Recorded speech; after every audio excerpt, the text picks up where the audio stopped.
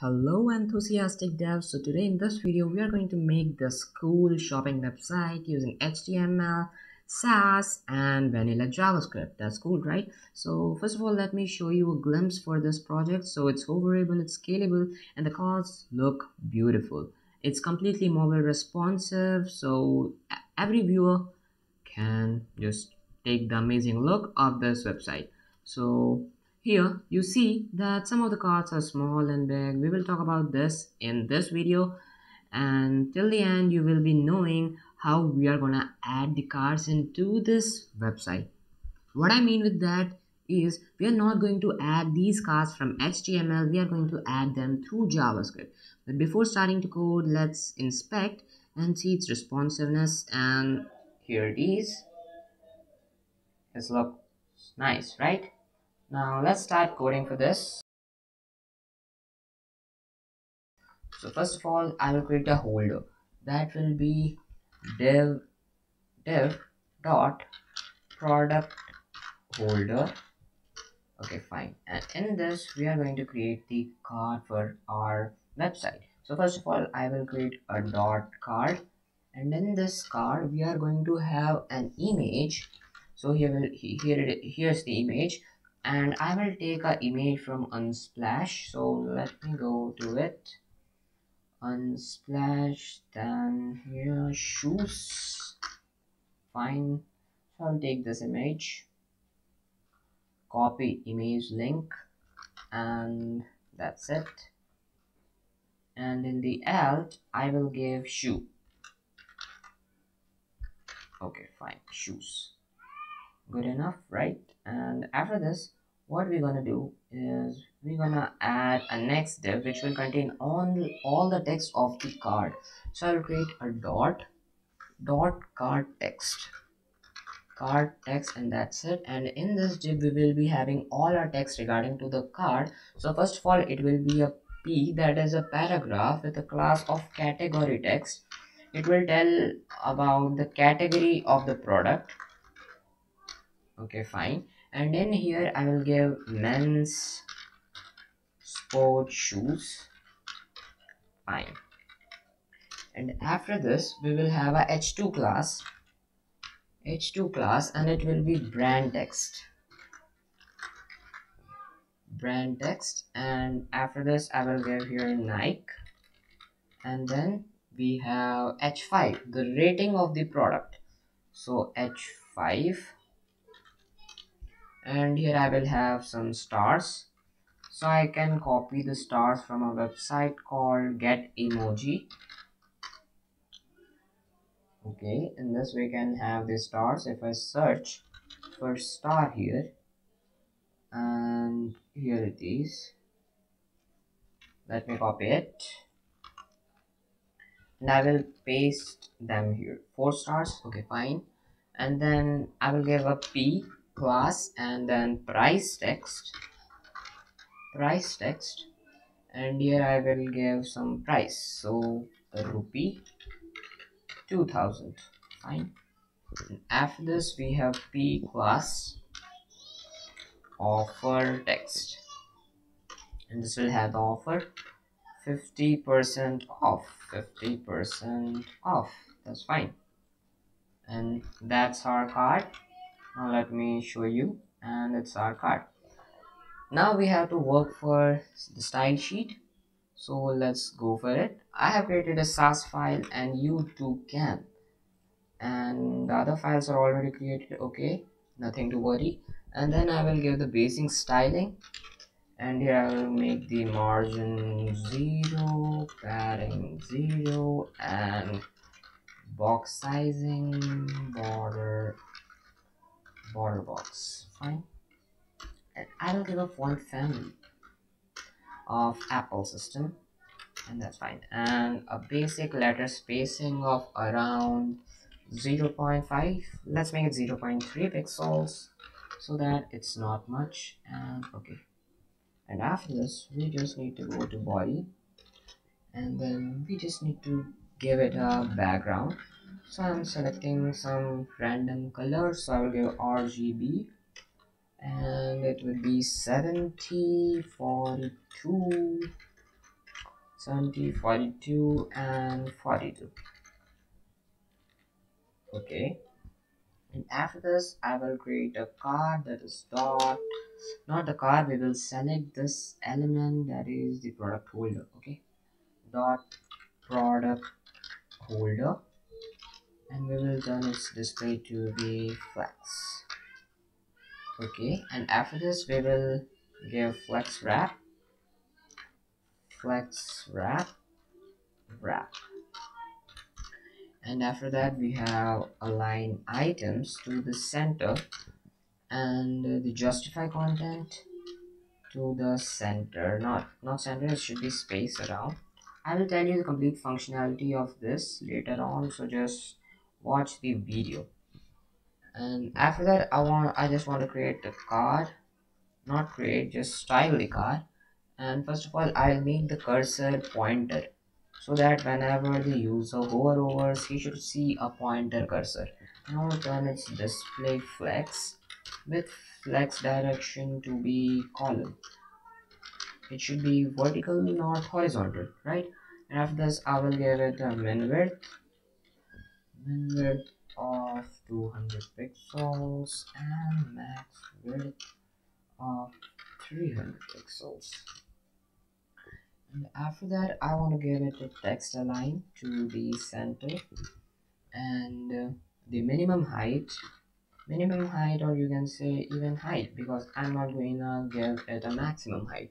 So that's the reason. So min height should be 370 pixels so if I give a maximum height it cannot grow according to the image but I want the card to grow according to the image. So that's the reason I'm not giving a max height only a minimum height. But if I give only height it's gonna be fixed not shrink not even expand. So that's why I'm using min height here. Okay? And after this I'm using border radius so that I could give a radius. So it should be 1 rem and after this I will give some box shadow box shadow you will be not you will not be able to see it in a dark background so i will just so i will just be using i will not be using it because in a dark background it is useless to give a box shadow a black box shadow right? But we can give it white. So we will take a look on it later on but now let's work on the margin margins should be 1.5 rems and then there should be a transition so that we can add a hover effect 0.3 seconds. Okay now let's add an hover effect to the card. So I'll do and and then this then hover. I'll get a transform. Transform a scale of 1.1 and you can see it's scaling up. It's becoming big whenever I point point on it or move the cursor to it. And after this we should work on the other elements. And first of all let's give a background to this. So I'll give a background of white. And that's it. Now let's work on the styling of these text. Okay and now I will select first of all I will select the card text card text and all the elements from this card text and I will give them a margin. Okay I'll give them a margin of 0.5 rem now why am I doing this? Because if I want to justify them accordingly like space around I want to give a minimum space to them I can't do that with flex because to adjust them with flex I have to give them a height. But I don't know its height may be changing according to the size of the image. So that's why I'm directly giving it some margin. So if I save it okay if I save it you should be seeing that they are justified. I mean they are getting some equal amount of spaces in between them. Now this is a little better than that. Okay and after this I just want the category text the category text okay? And this is dot so i will be using a dot. Class so font weight font weight should be 400 not very much but that's good. And i will reduce the opacity to make it a little grayish. To 0.7 and you see it become a little grayish. And after that I want some other element that is the brand text. The branding text brand. Text and that's it. And this should have a different color some kind of blue right?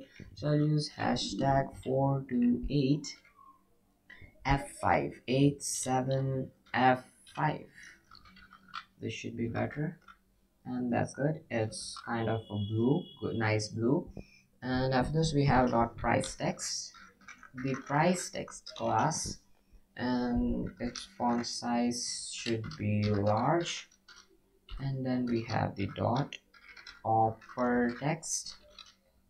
Font size font size should be small. That's perfectly fine. Now the card is ready. Now we just need to work on javascript so that we can add the cards with it. And that's going to be a faster way to add cards and a shorter way also. Because if I am going to add them with with HTML I have to copy paste copy paste copy paste and I don't want to do that. That's a very time consuming process. So I'll just be copying this card up from here control X fine. And I will save this so that the card is vanished. And I will go to app.js and we'll work for it on here so let me create an element const products this will be the holder of the cards. So products holders equal document dot query selector equals dot. Okay before this let me paste the HTML code here so that I don't lose it. And dot what is it? Product holder yes. Let me copy it and that's it. And now what we just need to do is we need to write a function for it.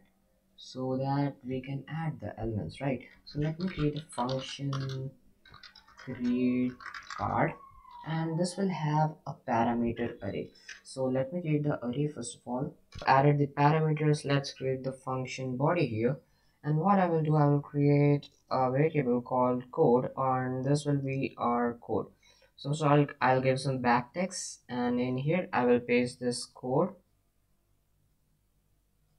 and control X fine. And B. Okay and now we just need to add the links and all the things these parameters in this code so first of all let me remove this link. Okay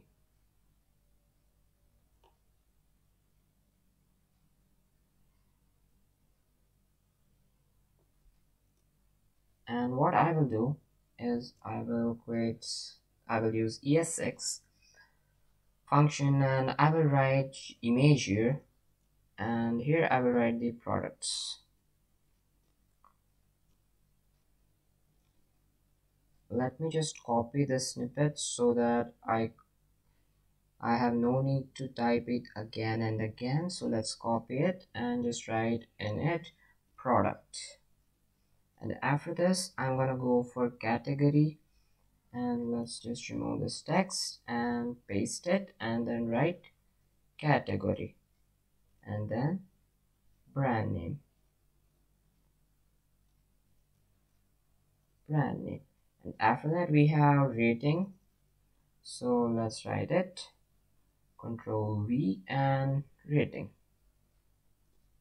And then we have price